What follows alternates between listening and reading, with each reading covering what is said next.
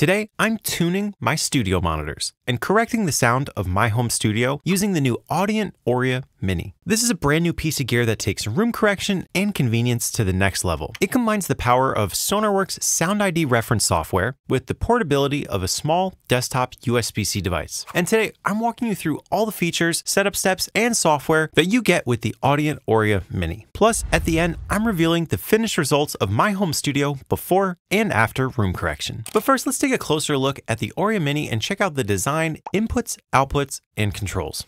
This device features high quality 32 bit converters for the purest sound quality possible, plus an impressive 127 dB of dynamic range to mix and master your music. And Oria Mini features onboard DSP chips that power the built in EQs to correct your speakers, crossover networks to control your sub, trim, levels, and speaker delay settings. These DSP chips don't power your mixing and mastering plugins or take CPU away from your DAW. It's DSP specifically for the functions within the Oria Mini. But that's enough about the inside. Let's take a look at the outside. The first thing you notice when you unbox the device is how compact and lightweight they've made it. You no longer need a big chunky piece of gear in a rack that costs thousands of dollars to get professional results in any space. On the front, you have four lights that indicate which of the four presets you have open, and the button on the front to switch between your presets by hand. Having four assignable slots means you can save your main room correction EQ to one, your uncorrected profile to two, maybe a Mixcube emulation to three, and some NS10s, car test, or cell phone emulation to slot four. The possibilities really are endless. But flipping over to the back is where all the magic happens. We have all of our inputs and outputs. From left to right, we have our USB-C connection, which powers the whole device and interfaces with the app, plus quarter inch outputs for your left monitor, right monitor, and an independent subwoofer output. I actually like connecting my sub this way rather than connecting my two speakers to the sub. The next input we get is optical SPDIF, which is my personal favorite way to connect the Oria Mini to any audio interface. Digital optical SPDIF connection means you skip the converters in your audio interface and send perfect quality audio between the two devices. But if you like to use quarter inch connection with analog cables, you can combine the converters from your interface with the converters in the Oria Mini. You'll notice that there's no mic input for the included Sound ID measurement mic, and that's because it connects directly to your audio interface, not the Oria Mini directly. So whatever audio interface you have, you'll be able to plug this mic straight in and get great room correction results. The rest of the features are found in the Oria Control app. This is where you set up and control everything regarding your studio monitor's volume, input source, profiles, subwoofer crossover settings, metering, and more. We're going to be coming back to this app later after we measure our monitors and room using the Sound ID reference app. So let's go through the initial setups in SonarWorks Sound ID and begin measuring our room. First, you connect your measurement mic to any input on your audio interface and make sure all the levels are balanced before beginning the real room measurement process. You just connect your microphone, set the input gain, and make sure all your levels are balanced for a perfect measurement process. Once you get started, you spend about 20 minutes moving the mic around to various points in your room, and a series of sine wave sweeps and laser noises play through your monitors, and it sounds like this.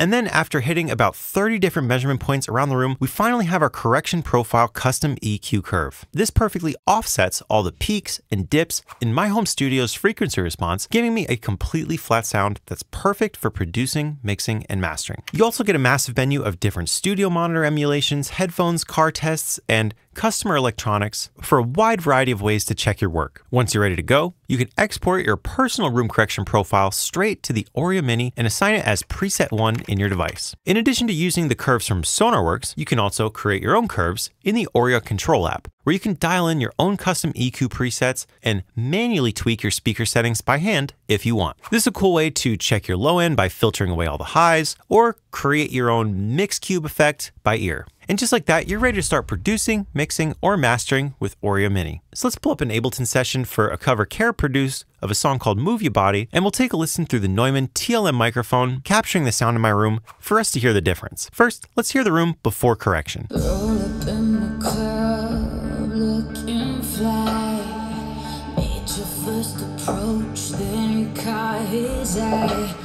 then move your way towards the dance floor.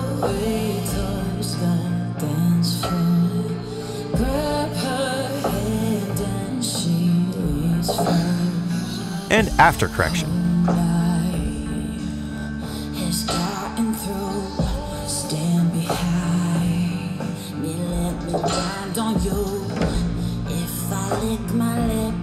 I'm probably feeling you.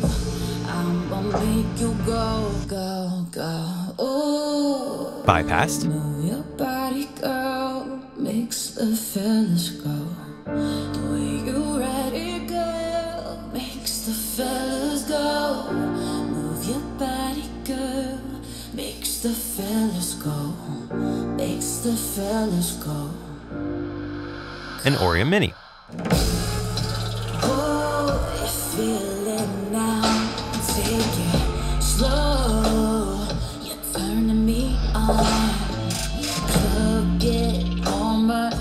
body moves closer.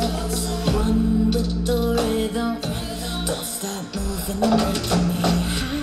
The difference I heard was subtle, but definitely noticeably better with the Oria Mini room correction enabled. It felt smoother, less enhanced, but that's exactly what you want when it comes to neutralizing and flattening the sound of your monitors. Overall, I think the Audient Oria Mini is really a useful addition to anyone who is already correcting the room with SonarWorks or someone who is curious about room correction and to see if it's useful in your studio. I'd recommend this to anyone with a small or large home studio that would benefit from hearing their music from a truly flat perspective. And for the price of just $449, this device makes it more affordable and accessible than ever to not only correct your room, but expand your speaker system's functionality and sonic possibilities. Plus, if you already own a license for SonarWorks Sound ID reference, you can purchase Oria Mini with the measurement mic for just $299. So if you want to learn more about the Audient Oria Mini, I'll include links in the description below and catch you guys next time in another video.